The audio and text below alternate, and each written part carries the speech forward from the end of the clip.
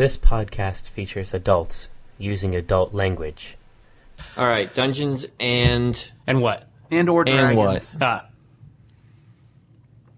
Or I guess uh, for the purposes of Dark Sun, it's uh, bone plating and chitons. it's chitin. Is it chitin? Yeah, chitin. yeah. It's chitinous.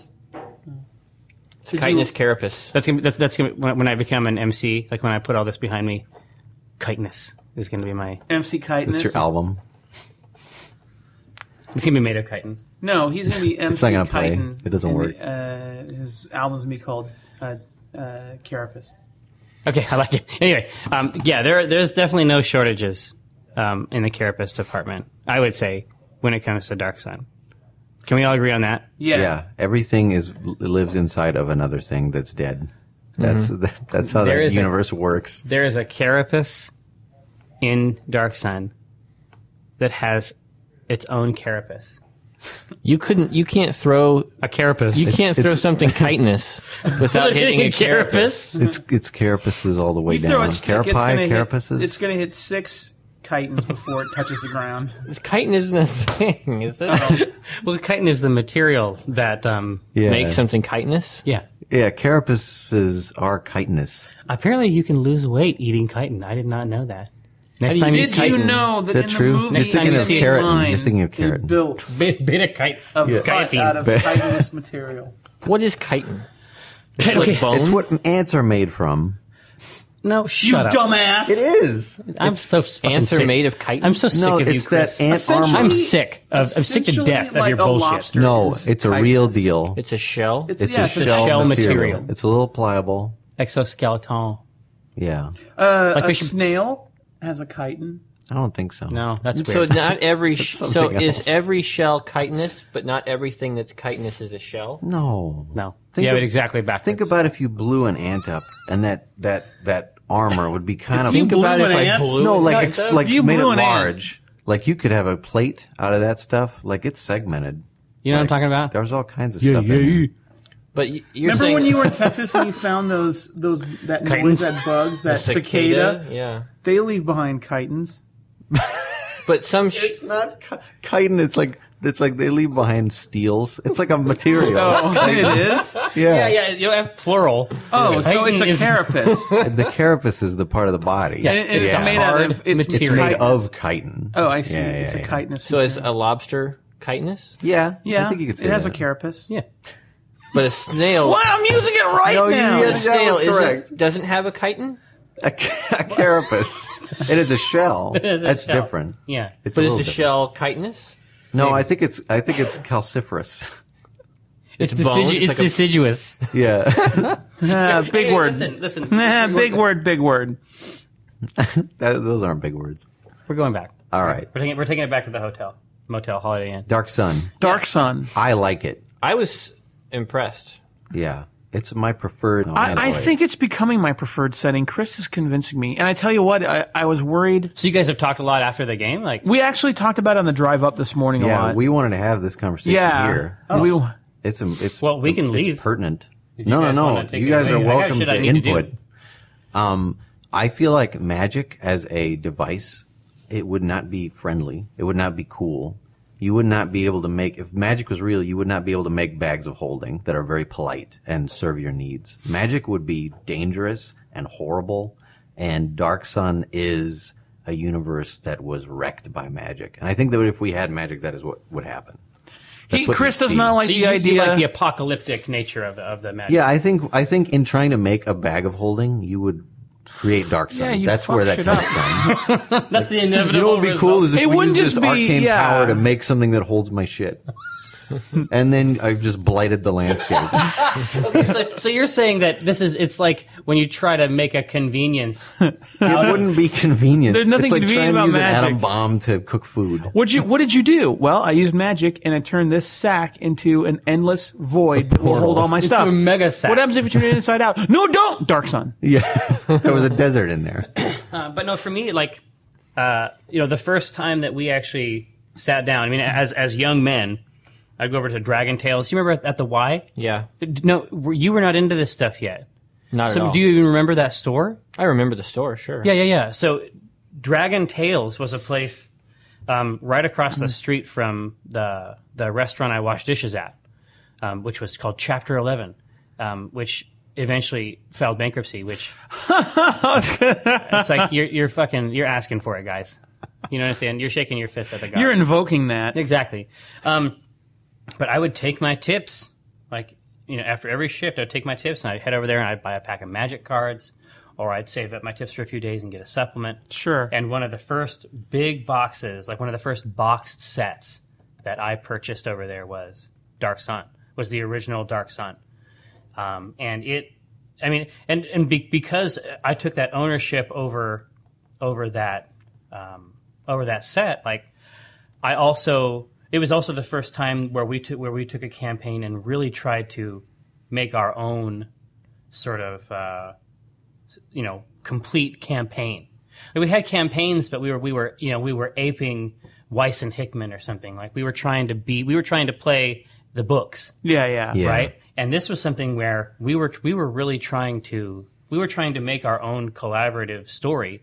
And Well, I think it's very easy in you know the normal D and D universe to fall into the Lord of the Rings and the Dragonlance. Yeah, and yeah. Sort of fall into those traps. and they're good. I mean, they're good Yeah. traps. yeah, You know, you want to spend some time in those traps. but when you're when you're put into a world like Dark Sun, there's not a lot to. Uh, I like that it's so foreign. yeah, there's Like, it's there's scary. nothing to really draw. Yeah, no, on. it's really cool because I think that especially those of us that have been playing since junior high, when when you say there's some elves over on the horizon, you're like, okay, who gives a shit? But you know what that means. yeah, but Yeah. when Jerry says you see elves in Dark Sun, you're like, oh shit, what does They're- they're that wearing mean? feathers, What does that? and they're yeah, running fuck at out of here. I don't know. they're what the they're hell that running in means. like a herd. Right. That's bizarre. Right. And This is how they've adapted. I think I was skeptical because I've never been.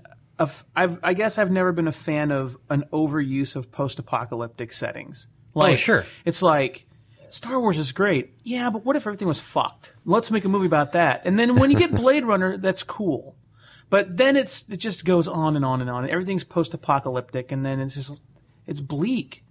And it's you know it's like what would make D and D better? What if nobody had swords or water? You know, okay, awesome, that'll be fun to play. God damn it, no, but it it is. You know, it wasn't bleak. Dark Sun wasn't bleak. It was just this really kind of. people make a. It's hard, but It people felt make more a like life there. like a fully It did. realized world. But like it Erica. made me I wanted to dig in. Like, Yeah, no, I like, do That too. was not enough play No. time. I wanted to understand that world. Well, we should play again. we just barely scratched the surface. what is play what is Eberron? Is Eberron more steampunk or post-apocalyptic? Eberron's more uh, like don't they have like lightning trains that run on rails and Yeah, yeah, yeah. I mean, So there's like machines. So it's very there's steampunky. machines, but they're magical machines. well, right? Eber, yeah, Eberron, ele- elemental and magical Yeah. machines, right? So, I mean, with Eberron, it's I'm like, so on your page now. It's you've ruined me. like, do you remember when you were playing in, in Mike's campaign and 148 is a is a warforged, right? Yeah, It's an yeah. Mm-hmm. Well, those those sentient automatons are from Eberron. Like that, that was that was where they were first. I, I always thought of him like a golem. Like if you Yeah. open him up, there's wood in there. There's no. What, if- what if we had trains in D and D? Well, how would trains run? I guess we'll have to come up with a complex rule system. No, magic. but let's not talk about her. No, I'm. Yeah, I, I was glad to get out of the traditional, you know, elves Sure. dancing around in a forest. Like I really wanted to see some dire time. And I think it'll run its course for me. You know, I mean, my my characters in in uh, the characters in my game, I think are level twenty now or something like that, and they're going to hit the level cap probably this year. We'll be done so with this. crazy. We'll be done with this campaign, and then you know, whoever runs the next campaign, may- maybe it will be science fiction, or maybe it will be uh, Eberron or something like that. But It's hard to imagine hitting the level cap. yeah, what dictates that cap? Well, the powers and stuff only go up to level thirty, right? Yeah, yeah, and it's sort of it, it's you know it's in the construction of the character now that you know as they reach the end of that as they reach the end of that power arc, I mean they get some pretty They strange. become gods. essentially. I was going to say, is it still happen where they could become deities? But Yeah. that's, Essentially? one- that's one path. I mean, there's just there's Sure. a lot of ways to interpret, you know, That's what happens. At that's the end. scary. Yeah, yeah, That yeah. fascinates Yeah, me. Yeah, but I mean, but those adventures. I mean, you can have a couple of those, but it gets pretty far out there. When my brother was visiting, he um, played D and D on the Saturday that we played with uh, Brad and your sister. Yeah. and um, he's playing with his friend Robert Howard, who used to live in Dallas, lives here now.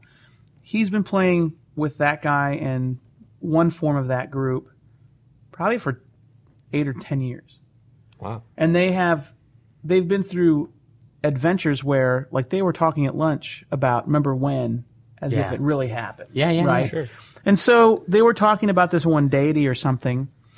And remember when so and so this this god made you go through these trials and stuff and I was like, "What deity is that? He sounds cool." And Brian goes, "He's not in the book. He was my first character."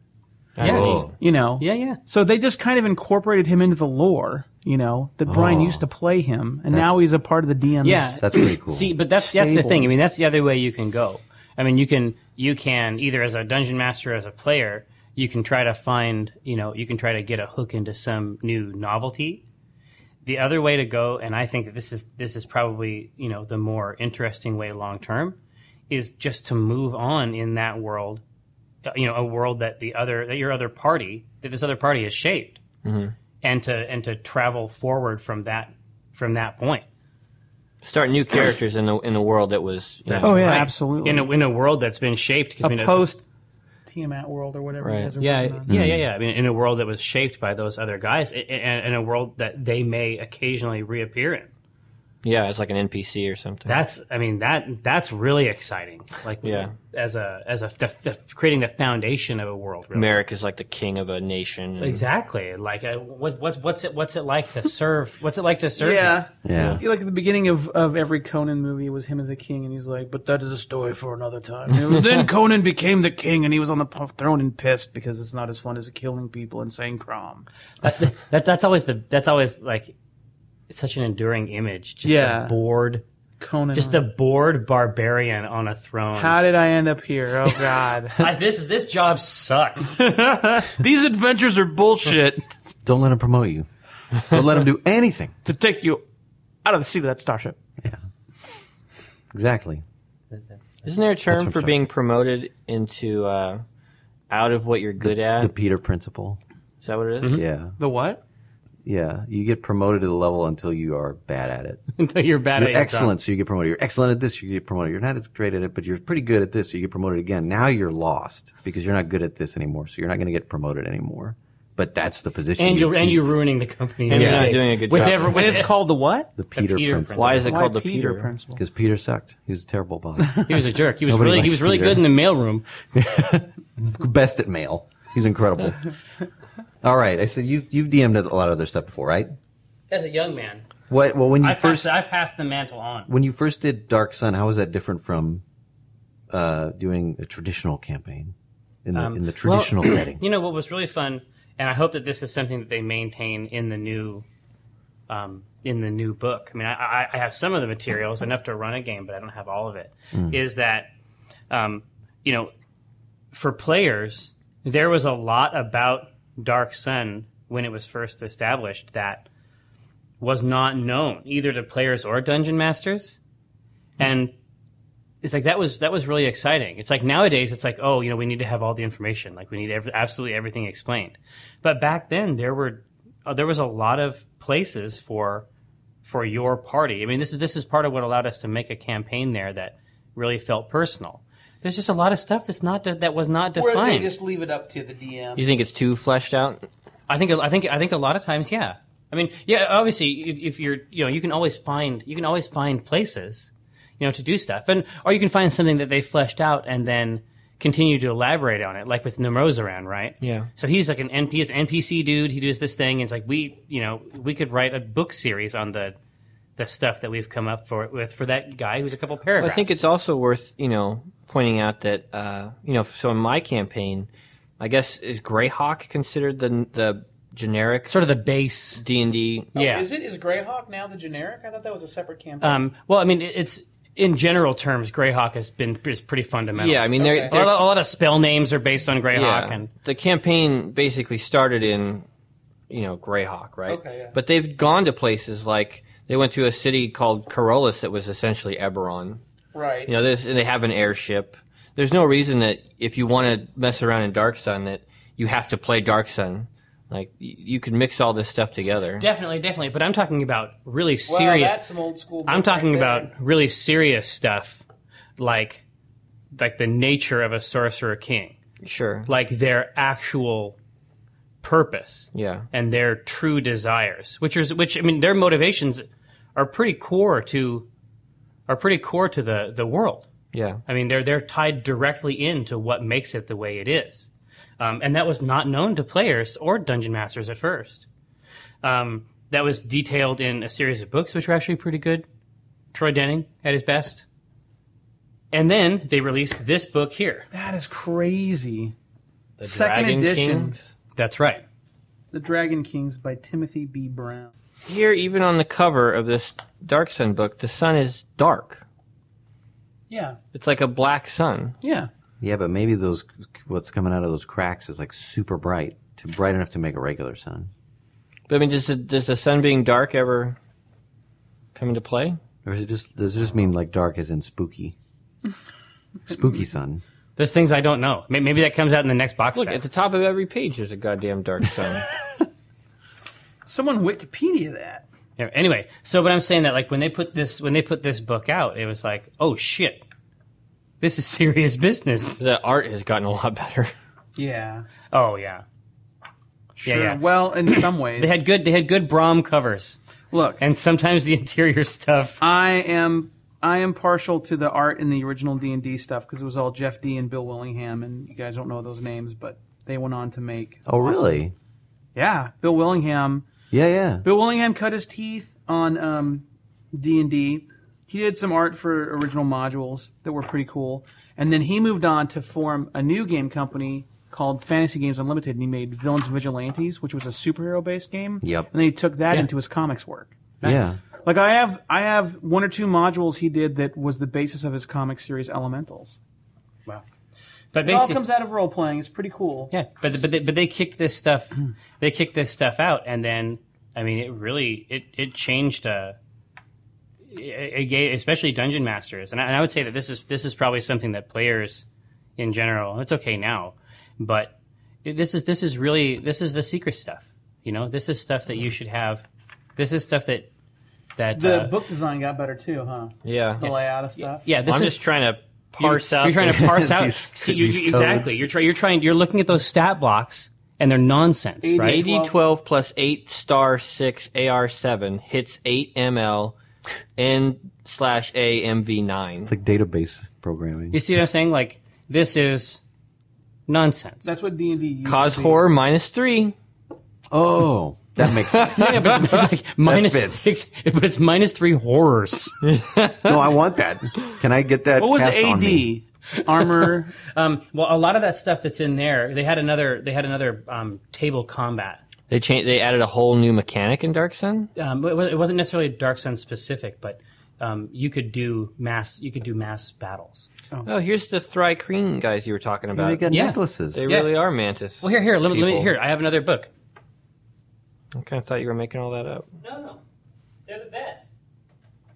There's even different kinds of. They're They make weapons out of spit. Yeah, yeah, yeah. There's even different kinds of Thri-kreen. But no, no, no. Look, I mean, this is. That- Jeez. that's another Oh, yeah. interpretation. Yeah, yeah, yeah, yeah. I, I, I prefer the more manted uh, looking face. That's but, crazy. But uh, I mean, these these are the things that these are just the things that I like about that I like about Dark Sun. wounds and chitin. Oh, look, this looks exactly like what we were. These animals pulling some kind of chitinous carapace. Yeah, right. Carapace chitinous. I mean, these are these are the experiences I had as a young man that I wanted to communicate to you guys. Like I wanted you guys to have these images um, in your minds. I but I really mean, wanna but I mean, back then, again. so you can so you can look at you can look at this at at, at uh, Dragon Kings, and it has a lot of extra rules that sort of the sort of the sort of glom on to the regular is, system. uh, these guys are riding in a chariot and they're shooting bows and arrows. It says sudden, sudden sharp turns may cause the light chariot to flip or break an axle. Whenever the chariot is moving at full speed and attempts to turn greater than 45 degrees, the driver must make an animal handling proficiency check to avoid flipping. Those inside are thrown from the vehicle. They must make dexterity checks to avoid 3d6 points of damage. which is a lot. Can we agree that that's a lot? Yeah. That's a bear. So you have you have the the basic setting, which like if you go out and buy the first three books, like the Dungeon Master's Guide, the Player's Handbook, Yeah. are from. You have Eberron, Sure. which is out now. You have Dark Sun, which is coming out. How many of these worlds are there? Um, back from back in the day, like the classic stuff. Yeah, that they could draw Dark on. Sun, Eberron, Dragonlance, Planescape. Oh, Dragonlance is its own setting. Yeah, oh, Yeah. yeah, yeah, yeah. Uh, Planescape. We, we played we played Dragonlance before we played Dark Sun. You can man, you can have good times on Krynn for real. Yeah. I bet. Um, but yeah, Dragonlance, Spelljammer. We discussed Plane- that yeah, with you before, Planescape. right? Spelljammer is different than Planescape. Yes. Oh, yeah. Spelljammer predates it substantially. Planescape is kind of jumping around all over the place. You could go to Dark Sun, then you Yeah, yeah. to- What's weird is that Planescape, what what what Planescape sets up is the idea that between all the places that you know is another place, and it has its own kind of culture. Isn't that Sigil? Yeah, yeah. Sigil is the main city, but people who travel people who travel from plane to plane have a kind of culture, Oh, sure. and and uh, characters can can take full advantage of that stuff. But the problem with Planescape and with Dark Sun um, before was that a lot of times when you, you'll add these new systems, right? Yeah. And then these systems just sort of sit on top of the old systems, right? It's just all new stuff, and it's like none of it actually works together. Yeah. And what I liked when from when I had the from the chunks of the book that I had was that, yeah. So now we have these templates, right? So it's a it's a type of character, but you can apply it to any any class, yeah. right? I mean, before this would have been described in some little mean? paragraph somewhere. What are you shaking your head Right? for? This is horrifying. Why? Undead war beetle. You can live in it, and it's like I it's love like these being inside things. a giant corpse. I love these things. You need a wizard to Another drive it. carapace. Yeah. Magically animated, But except rather than beetles. being pulled, it walks because Yeah. it's undead. Let's do it. Let's get one of those. We'll name it Sally. We'll and we'll ride. drive in it. But anyway, the, the basic idea is that like a, a- template is just like, like a a, bus. a paragon path. Sure. It just applies to the first 10 levels. Like th- they've added the new stuff, but it all fits into the regular system so that people who are new players can actually conceive of some of this stuff. which I prefer. I, I don't. you like I to be able to conceive Yeah, of it? I, I enjoy being able to understand what's going on. I do. I do not remember what D and D was like when I played it in junior high. I just got excited to be playing Yeah. with people. I don't remember what what math we had to employ. I'm glad I came in when I did. I mean, it seems sort of like a renaissance. This is this is what happened, Mike. You came in at a good time. and this Yeah. is why I got really angry when Fourth Edition came out, and some of the purists got really pissy about it. It's that D and D went from humble beginnings as a, a game called Chainmail. right. Boy, this is the this is the image I remember as Dark Yeah, Sun. that is Dark Sun That right guy. there in a picture. um, to being first, you know, kind of like the blue and red box D and D, to being advanced Dungeons and Dragons, second, third, and fourth edition. And by the time you got to like three point five, it was this ridiculous chaos of rules and people just got caught up in the minutia. They just got Right. caught up in the idea of knowing every goddamn rule. But it was How not much fun to jerky did play. you bring with you when you went out on this hike? And oh, it's like, that's not enough uh, jerky. And it's like, what kind? You're of, dead. What kind of jerky? yeah. Yeah, This is one of my favorite You have pictures. to go shopping. you do. It's like a supermarket. But you know, I mean, I guess fifth edition will come out, and then we'll be like, "Oh man, fourth edition was where it's at. Yeah. How can you ever change?" Yeah, we'll, we'll be out. We'll be out on the porch. No, no, no. I just there, there's a an image in here that like has just stuck in my head the whole time, and I, I was I kept thinking I would work it into the uh, adventure, but I didn't have a chance. Oh, Chachka, So there is That no sounds like a metal on bug Dark. Sun. doesn't it? no. I didn't have to worry about it because my character's weapons were his hands. Yeah, yeah, yeah. So if What there's if no there was metal, no what hands? was? Like, I had a sword and an axe. yeah, yeah. You were you had made a, out of bone. You were made out of You- chitin. Or exactly. glass or something. And um, Stop saying but, that but, word. but your but your your your bastard sword is actually a metal sword, which would have been super rare. Oh, wow. Yeah, Here my um, this, this this is it, dude. This this is this is my Thri-kreen image. Just this, this hatchling Thri-kreen, like, hey, what's up? What's going on? And this one's like kind of like, come on, guys. He Listen. got hands on his hips. could it's you like play such as they a are. Your egg cluster is in ruins. Yeah. so was Thri-kreen just an NPC class, or can you could you be a Thri-kreen? Oh yeah, Oh, you could. yeah. My brother, a uh, treat. my brother played I would- in a planar campaign where um, they ended up in Dark Sun for a little bit. They fell through a portal in Dark Sun. That's not technically possible. Oh, really? Well, they made it possible. but he landed in. Uh, they all landed in their full plate, and so their adventure in Dark Sun was running. Was a lot of Everybody heat. wanted their medal. Their Why plate. is it not technically possible? Uh, It's, I, I thought you said that between all these worlds, there was a place, But place. Dark Sun always was yeah, separate of it. exactly. I mean, we'll, we'll we'll see how they try to fit it into the the new mechanics because I mean the sort of the cosmology is a little bit different now than it used to be. It used to be a lot more complex, um, but it is it's actually sort of separated by it's sort of separated by a plane from the rest of this stuff. Whatever. Magic. Wigga bigga boo. Yeah, and Dark gonna say, Sun. eh, when in doubt, wizards were responsible. And my favorite part of oh, my favorite part of that adventure was finding out that um, finding the, the magic hidden in the in the knotted rope and like Yeah. oh no this is bad news. Well, I'll tell you something interesting. I talked to Jerry about this after the game, and maybe you guys already knew this, but the the scout, um, the blind scout that had the was it Palanthus? Yeah. Was it, was it A called? palantir. A palantir. No, he, it's a like the compass. Yeah, he had like sand in his hand, and the ball would spin. Yeah. Jerry made all that up, Oh, you did? Yeah. That wasn't a part of Dark Sun. No, I just thought you would like it That's cool. and then he killed him. Right away. Yeah, but I thought that was so I- we could That have the ball. cool. like the image of having to keep sand in your hand and this ball sort of spinning in it. I thought that was really cool. Yeah, yeah. I just I thought th- this, these these are the th- sort of things I wanted you to enjoy. We did, See, but now it's ruined. I thought it was a part of the Dark Sun world. It's but it's runt. Not. I wanted to get my own ball. they haven't printed the books yet. Maybe they can hmm. still add it. Wizards, hear me. How did you make up that? Put did you make up the word? Ball. Which the sand. Tablelander? Tablelander. That's what you called it. yeah. Did you make up that word? Well, the Tablelands is the area. Okay. That that whole sort of that that whole sort of blasted out. so a tablelander. A Tablelander is uh, something that you use to navigate the Tablelands. Yeah, listen, thought that I, I'm overjoyed that it felt real. it did feel. I thought it was in the supplement. That's real solid. This is what I'm talking about. Copyright See you guys. Jerry.